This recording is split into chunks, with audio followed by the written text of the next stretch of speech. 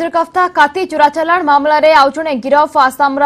ଅମିର ହୁସେନଙ୍କୁ ଗିରଫ କରିଛି police ଅମିରକୁ transit ରିମାଣ୍ଡରେ ଆଣିବାକୁ ଆସାମ ଯାଇଛି crime branch team